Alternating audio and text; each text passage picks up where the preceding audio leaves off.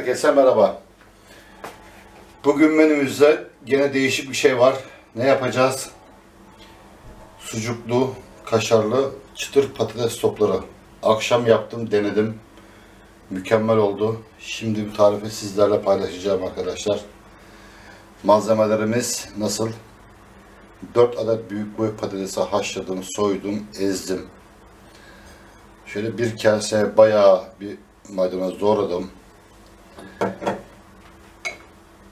Bir miktar sucuğu ufak ufak kestim. Biraz kaşar peynirini gene böyle küp küp doğradım. Birazcık karabiberim, pul biberim, tuzum, kırmızı toz biber ve biraz sıvı yağ. Şimdi öncelikle maydanozları atmakla başlayalım. Şimdi maydanozları atıyoruz. İçine bir çay kaşığı karabiber.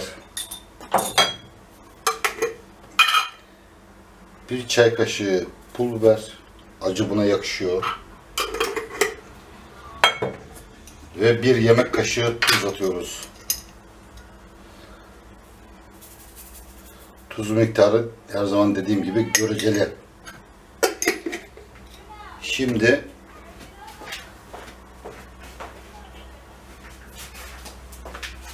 unuttuğumuz bir şey vardı. Nişasta. Ben şu anda mısır nişastası buldum. Buğdayla da oluyor. Takribi 3 yemek kaşığı kadar nişasta atıyoruz. Bu nişasta hem karışımımızı toplayacak hem de çıtır olmasını sağlayacak arkadaşlar. Şimdi bunu karıştırmaya başlıyoruz. Karışımımız hazır arkadaşlar. Şimdi ne yapıyoruz? Bir kaseye biraz böyle sıvı yağ döktüm. Ee, bu şekil vermek için yağ gerekli arkadaşlar. Şöyle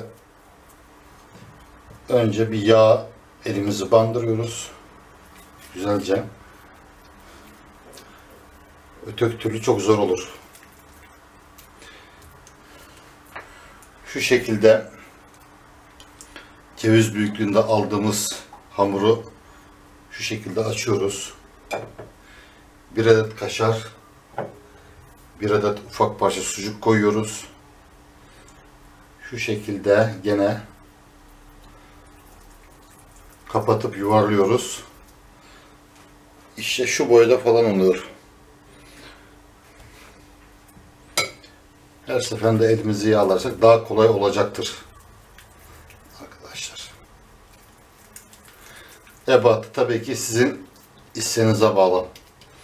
Büyük de olabilir, küçük de olabilir. Çok da ufak olmasın. Çünkü birazcık da malzeme koyalım içine.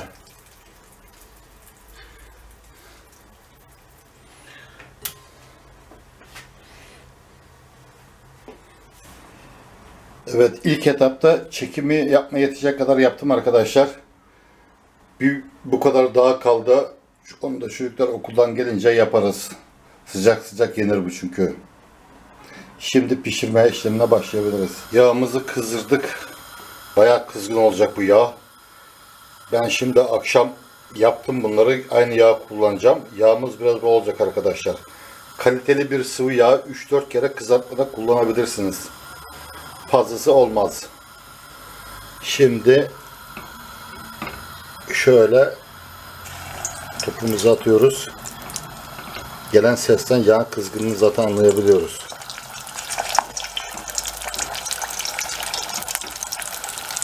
Bir kere de ben 6 tane pişireceğim.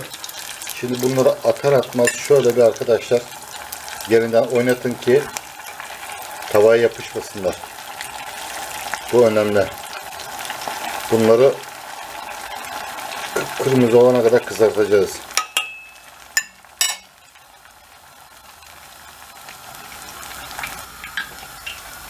Patateslerimiz altın sarısından biraz hallice kızardı.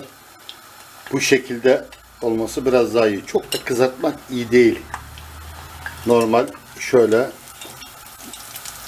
bir kepçe yardımıyla delikli kepçe de kullanabilirsiniz. Alıyorum zedelemeden Yağını güzel süzdürüyoruz. Of patlamış peynirler dışarı akmış. Bunu ziyan edeceğiz? Tabii ki hayır. Belki de en güzeli olacak. Hemen geri kalan malzememizi pişirmeye devam edelim. Bu sesi duyacağız arkadaşlar. Yağın kızgınlık ölçüsüdür bu.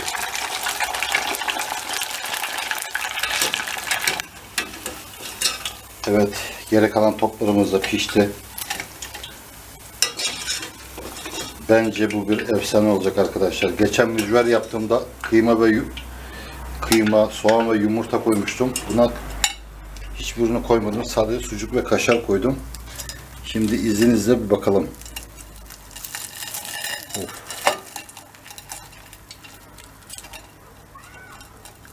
Gördüğünüz gibi kaşar erimiş. Sucuğumuz da çiğ koyduğumuz için suyu kaçırmadan kalmış. Etrafında boşluk olmuş. Puf puf olmuş. Bence mükemmel oldu arkadaşlar. Yapana da yiyene de afiyet olsun.